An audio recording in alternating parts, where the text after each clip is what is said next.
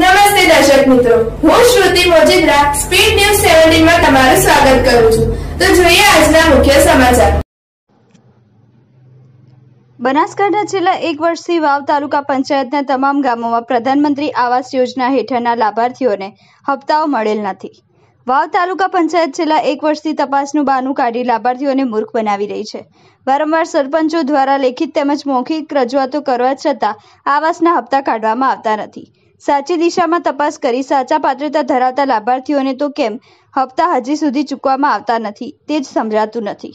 સત્વરે પ્રધાનમંત્રી આવાસ યોજનાના તત્કાલિક ધોરણે સ્થળની ચકાસણી કરીને લાભાર્થીઓના ખાતામાં હપ્તા જમા કરાવવા માટે ઉગ્ર માંગ ઉઠી છે.